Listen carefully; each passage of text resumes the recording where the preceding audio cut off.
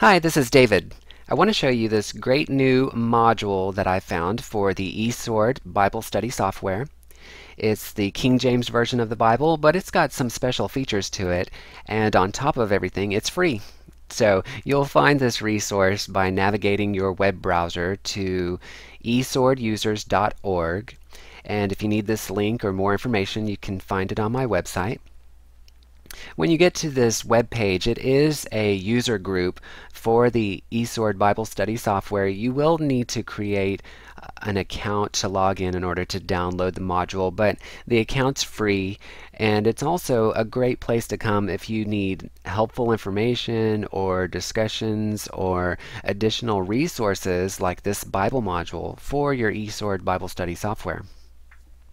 When you do log in, you can download the KJV plus TVM Bible and Dictionary.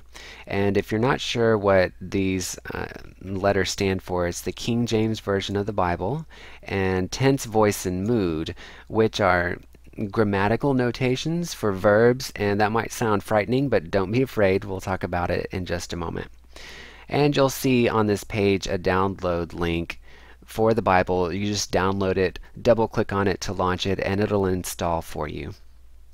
Once it's installed, you'll launch your eSword Bible Study software, and which I've done. And I have two panels open in my eSword software at the moment. I've got a Bible panel on the left and a dictionary panel on the right because there are two components to this particular module. You'll see that I have the King James Version plus Tense, Voice, and Mood Bible open on the left and then there's a TVM or Tense, Voice, Mood tab under the dictionary panel on the right. I do have my King James Version Bible open to Matthew 6:33 where Jesus says, "But seek ye first the kingdom of God and his righteousness, and all these things will be added to you. So I kind of want to look at this verse.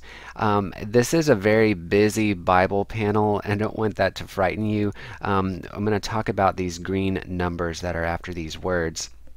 First, though, the King James Version, it might not be your most favorite version of the Bible or the one that you primarily study from, but it is a, it is a very good word for word literal translation of the Bible.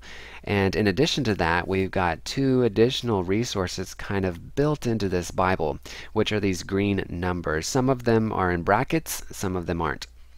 The ones that aren't in brackets are Strong's reference numbers, which are definitions basically of the words that they follow. And you can find out the information that they contain by simply hovering over them. So for example, if I hover over this G2212, I get the Greek word that was translated seek, and also a brief definition of that word. And if I actually click on it, my dictionary panel on the right populates with a bunch of blue information buttons and these just tell me that these particular tabs have more information on that word. Like my favorite the complete word study dictionary if I click on that will give me much more information about this word and a bunch of verses where it appears.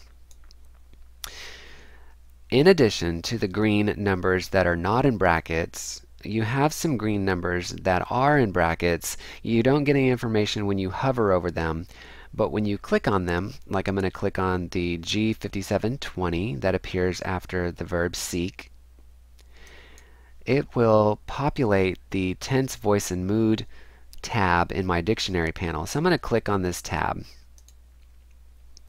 And this will tell me that the word seek in Matthew 6:33 is present tense active voice, and imperative mood. Um, if you're not sure what one of these designations means, you can right click on the green number, like present tense, and look it up. And it will tell you right here what present tense means and sometimes give you an example. And present tense, for example, is a simple statement of fact or reality viewed as occurring in actual time.